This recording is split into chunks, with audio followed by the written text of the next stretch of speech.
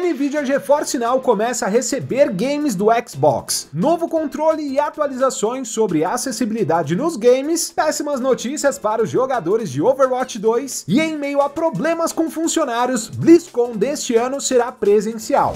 E aí ninjas, tudo bom com vocês? Eu sou o Shin e tudo isso e muito mais é o que vocês conferem agora em mais um X News Update da semana. Então, bora pra action!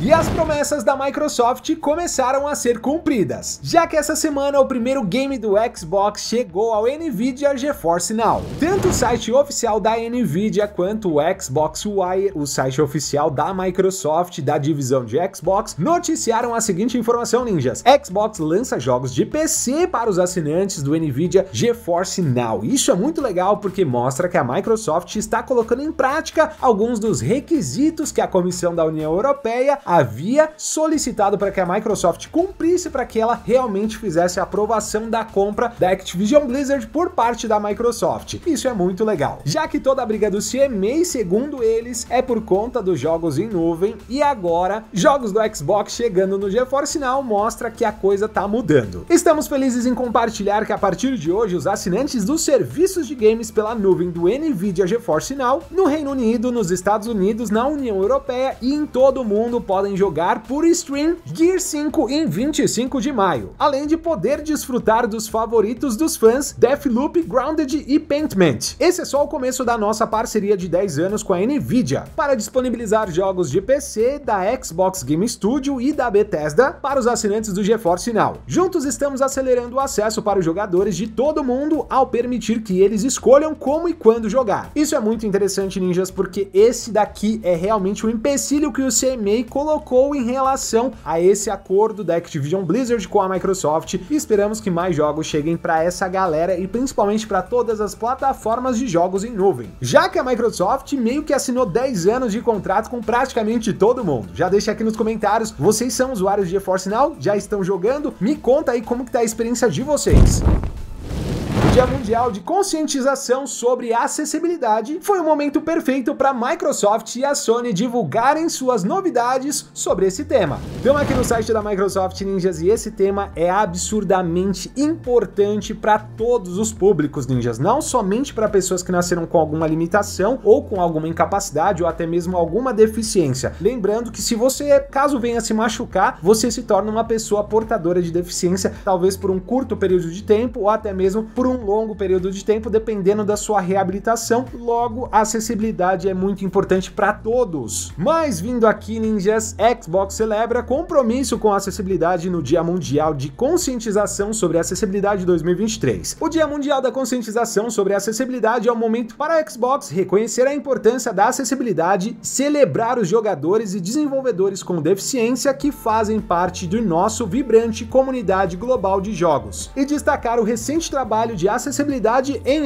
Xbox, para atender às necessidades de mais de 420 milhões de jogadores com deficiência e criar uma plataforma onde todos se sintam bem-vindos. Seguros e representados, sabemos que a conscientização e o suporte à acessibilidade é algo que deve acontecer todos os dias. Neste momento aqui, eles estão realmente focados nessa parcela de pessoas que realmente têm algum tipo de limitação. Se eu tô falando alguma coisa errada ou coisa do tipo, ninjas, deixa aqui nos comentários comentários de forma respeitosa, porque eu realmente estou aprendendo sobre esse tema e eu acho ele realmente muito importante, tá? Tipo, sei lá, você vai lavar uma louça, de repente você acabou cortando o dedo e você tá em possibilidade de jogar ah, algum jogo, sei lá, um FPS ou mexer no mouse, teclado, você se torna uma pessoa portadora de deficiência até que ali você consiga se regenerar, obviamente se curar. Enfim, de qualquer forma, ninjas, isso é extremamente importante. Uma coisa legal é que a Microsoft fez novas atualizações no Xbox, questão de interface do controle, questão de acessibilidade para melhorar ali a parte visual e audiovisual dos jogos. Aqui a gente tem um filtro para jogos que permite que você pause ele, né? Porque tem muitas pessoas que muitas vezes acaba não tendo expertise de entender que o jogo muitas vezes acaba não sendo um jogo que permite ser pausado, então eles melhoraram a experiência de busca das coisas, N outras coisas, inclusive aqui a gente tem né, o controle de acessibilidade do Xbox, isso é muito legal, uma iniciativa muito positiva pensando sempre em todos, mesmo aqueles que não têm nenhum tipo de deficiência ou não é nenhum portador, mas é muito legal saber que eles trouxeram aí uma experiência nova para esse público, tá? E obviamente que a Sony também não ficou atrás e essa última semana ela nos apresentou algo muito legal que é este controle, este que é o Axis Control Ninjas. Muito legal, obviamente exclusivo para o PlayStation 5. Eu achei ele um tanto quanto peculiar, mas eu acredito que eles tenham feito bastante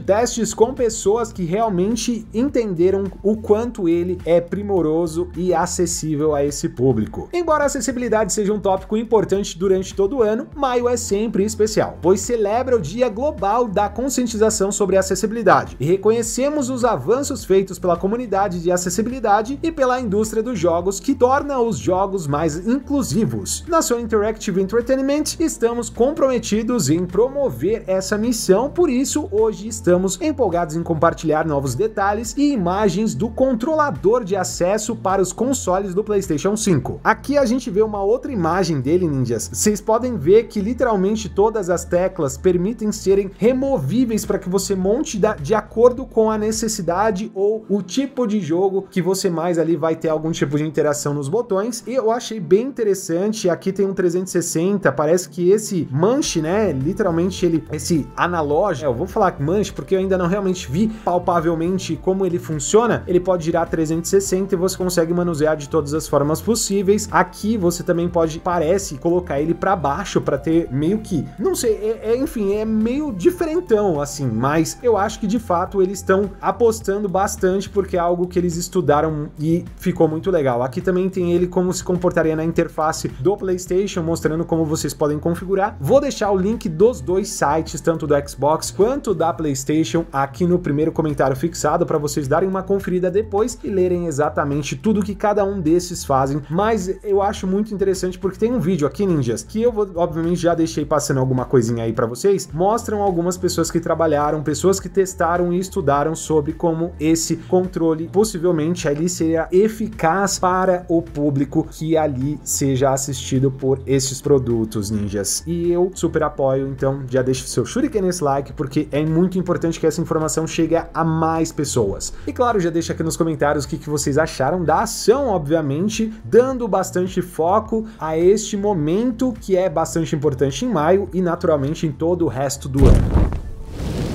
Que a Blizzard não consegue realmente manter muito bem suas promessas, já que ela cancelou o modo PvE de Overwatch 2. Estamos aqui no site do Adrenaline Ninjas e olha só isso, segundo o diretor de Overwatch, a equipe responsável pelo game errou ao tentar se focar em coisas demais. Isso é bastante complicado, ninjas. Gestão de projetos é muito complicado porque quando você está fazendo um projeto ou desenvolvendo alguma coisa, naturalmente você acaba meio que se empolgando, criando fazendo coisas e de repente talvez você tenha uma gama de coisas que não se conectam ou acabam saindo totalmente fora do escopo e parece que é o que aconteceu com Overwatch 2. Na última semana a Blizzard deixou muitos fãs de Overwatch 2 decepcionados ao anunciar que estava reduzindo seus planos para o modo PvE, enquanto ela garante que opções do tipo ainda vão chegar. O escopo vai ser reduzido e o mais próximo de Overwatch original. Decisão que o diretor Aaron Keller tentou explicar em uma atualização no blog compartilhado nesta semana. Segundo Keller, o modo herói do jogo foi cancelado, porque não estava se mostrando tão divertido quanto desejado e estava drenando recursos de outras partes do game. Nas palavras dele, as coisas raramente seguem o planejado no desenvolvimento de games. Tivemos problemas em encontrar novas bases com o modo herói desde o começo. O escopo cresceu e estávamos tentando fazer muitas coisas ao mesmo tempo e perdemos o foco. É, é bem complicado isso, Eu trabalho com criação e eu sei exatamente como isso funciona. E quando a gente não tem uma coisa muito bem definida e todo mundo trabalhando em prol daquele principal objetivo, é muito fácil que a coisa meio que se ramifique e as coisas se percam no meio do caminho. Esse daqui é o tweet dele em questão, aqui direto do Overwatch. E é claro que a gente fica bastante frustrado, afinal de contas, Overwatch 2 foi anunciado com a premissa da gente ter vários outros tipos de conteúdos diferente do que o Overwatch 1 original original tinha, e agora sabendo que o Overwatch 2 não vai ter esses conteúdos que foram prometidos, meio que não faz muito sentido o Overwatch 2 existir, e foi meio que, cara, um tapa na cara de todos os fãs, mas já deixa aqui nos comentários o que, que vocês acharam dessa sacanagem da Blizzard em cancelar o modo PvE de Overwatch 2.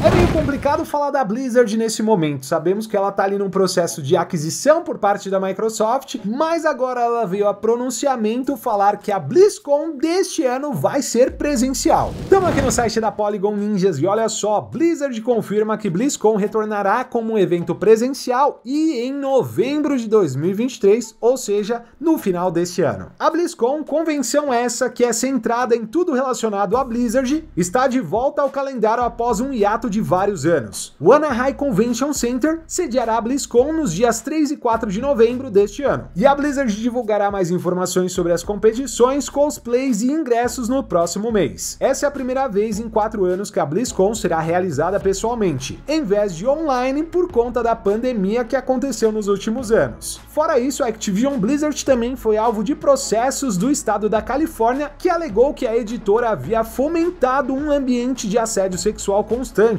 além de, como eu já falei, estar passando por um processo de compra por parte da Microsoft. Fora isso, recentemente ela passou por algumas estressantes situações com seus funcionários, que estão tendo um relacionamento desgastante, pois a Blizzard está, de certa forma, forçando com que os funcionários voltem a trabalhar presencialmente. Isso é um tanto quanto ruim, né, ninjas? Porque assim, pensa que a Blizzard é uma das empresas que realmente, para quem cresceu jogando videogame, é uma das empresas mais incríveis e que a gente ama. Só que a empresa de fato por trás das cortinas é uma empresa ruim desde os seus primórdios e isso foi noticiado muitas e muitas vezes. Até aqui no canal eu já trouxe várias informações a respeito disso. E em meio a um cancelamento de um modo para o seu principal game, naturalmente no mês que vem vai ser lançado o Diablo 4, inclusive vou trazer aqui no canal lançamentos do mês, então já se inscreve aí para vocês não perderem nada. Ela está sendo comprada pela Microsoft, anuncia uma BlizzCon presencial e tá brigando com seus funcionários para que eles voltem para o estúdio. Isso é muito desgastante e é quase como se de fato a Blizzard quisesse de alguma forma se tornar a pior empresa de todas na indústria dos games. É o que ela está realmente conseguindo fazer. Só resta saber se ela vai dar a volta por cima e se quando a Microsoft possivelmente acabar comprando ela, ela se torne a empresa que a gente sempre sonhou que ela fosse. Mas claro, já deixa aqui nos comentários o que, que vocês acham de toda essa situação que está acontecendo com a Blizzard.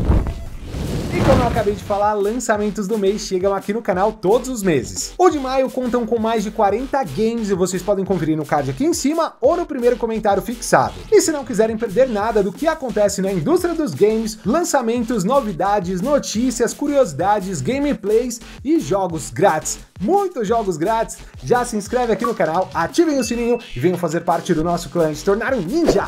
E agora aproveite para conferir um desses dois vídeos com os jogos mais aguardados de 2023 e 2024 ou este outro com as últimas notícias da semana. Então vejo vocês por lá. E para vocês que ficaram até o final, meu muito obrigado, fiquem em paz e até mais. Fui!